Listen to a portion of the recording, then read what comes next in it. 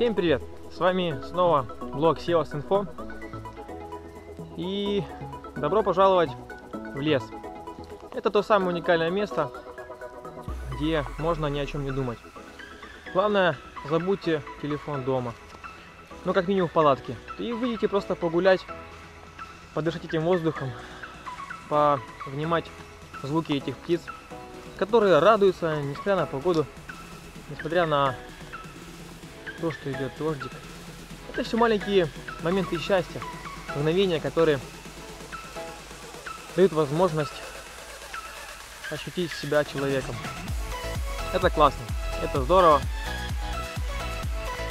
Поэтому как можно чаще давайте возможность себе, своим близким выходить в лес, видеть эту красоту, слушать эту тишину, получать максимум удовольствия от того, что происходит вокруг.